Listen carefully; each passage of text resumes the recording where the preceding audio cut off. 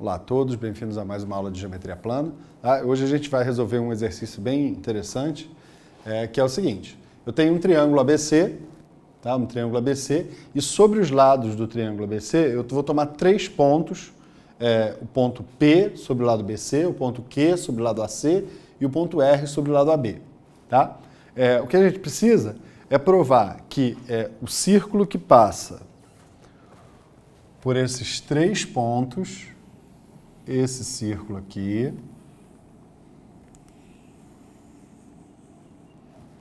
Tá? É, por esses três outros pontos.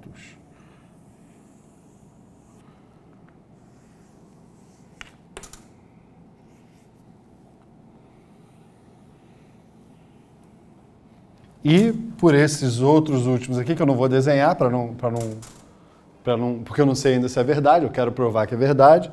Eu quero mostrar que esse último aqui, esse que passa por B, R e P, passa também por esse ponto D aqui. Tá? Então, o exercício é provar que os três círculos passam pelo ponto D que eu coloquei aqui. Que nesse caso vai ser a interseção desse, é, desse roxo aqui com o vermelho.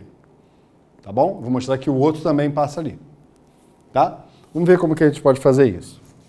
Bom, a ideia é ligar esses dois pontos e esses dois pontos. Tá bom? Quando eu faço isso, eu crio um quadrilátero DPCQ. Então vamos, vamos começar a escrever aqui, ó, seja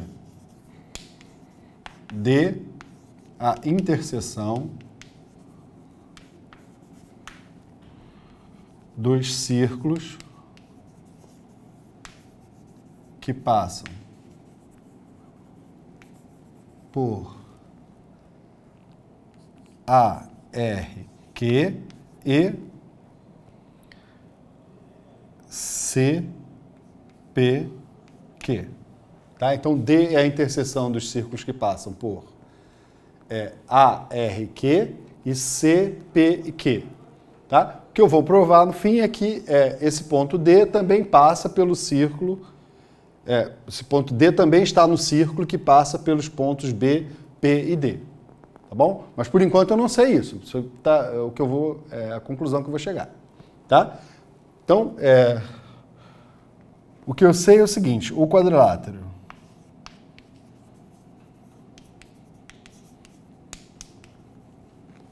o quadrilátero BCPDQ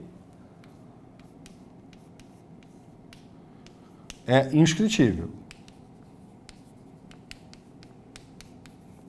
Porque os, os quatro pontos pertencem a esse círculo vermelho. Tá? Além disso, o quadrilátero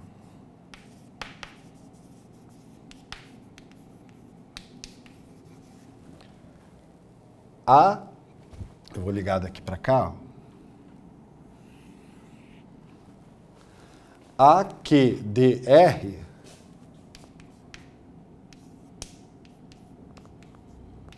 é inscritível.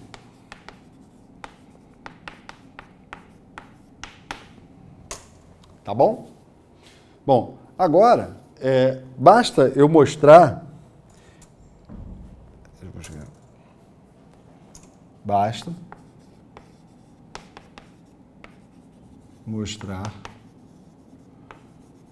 que BPDR é inscritível.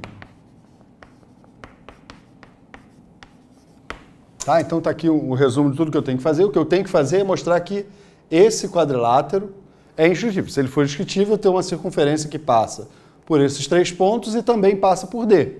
Ou seja, vai provar exatamente o que eu quero. Tá? Vamos ver como é que a gente pode provar isso.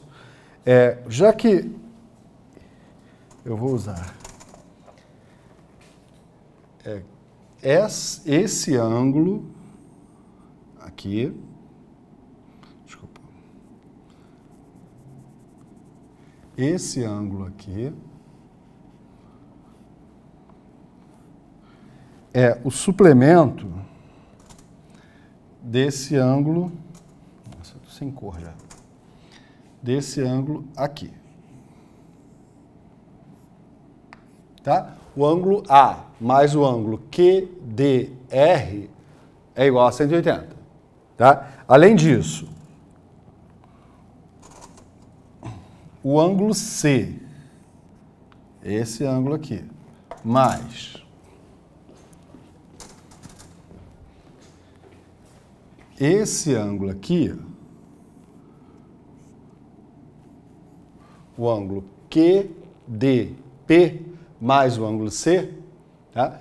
também dá 180, porque o quadrilátero é inscritível, tá? Então, é, essa, prime essa primeira aqui, o ângulo azul com o ângulo rosa, é 180 por causa dessa primeira, desse primeiro quadrilátero inscritível. Já o ângulo marrom aqui com o ângulo é, amarelo vai ser, vai ser 180, a soma desses dois vai ser 180 por causa da, do, desse quadrilátero inscritivo aqui, que é o segundo. Tá? Agora, basta eu provar que o ângulo B com esse ângulo daqui, ó, dá 180. Certo? O que eu sei é que a soma desses aqui vai ser 360. Tá? E também sei que a soma desses três vai ser 180. Aí vamos calcular então esse, esse ângulo verde aqui, fazendo só as contas ali do, dos, dos ângulos que eu já conheço. Tá? Vai ficar assim, é, o ângulo QDR, QDR mais o ângulo A, desculpa, desculpa, mais o ângulo QDP, mais o ângulo PDR. Isso dá uma volta completa. Tá? É só você olhar aqui, ó, esse ângulo mais esse ângulo mais esse ângulo dá uma volta completa. Tá? Só que é, o ângulo QDR, QDR é o suplemento do ângulo A. Ou seja, eu posso trocar esse cara aqui ó, por 180 menos A.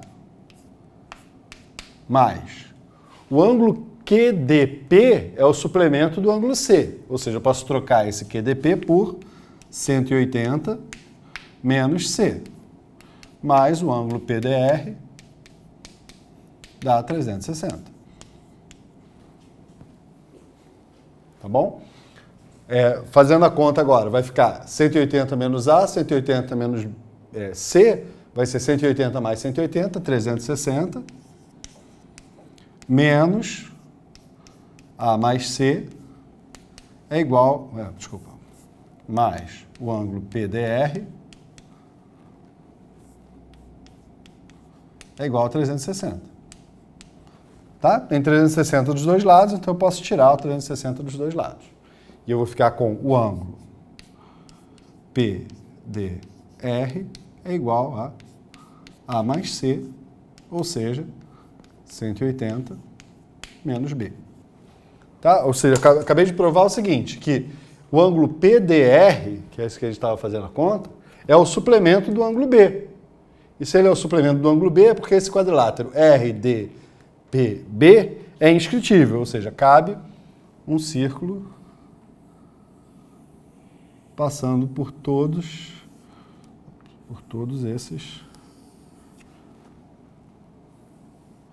vértices. E aí eu acabei de mostrar que se eu escolher três pontos sobre os lados do, do, do triângulo ABC, tá? a circunferência que passa por esses três é, a circunferência que passa por esses outros três e a circunferência que passa por esses outros três concorrem todos num ponto que eu chamei ali de D.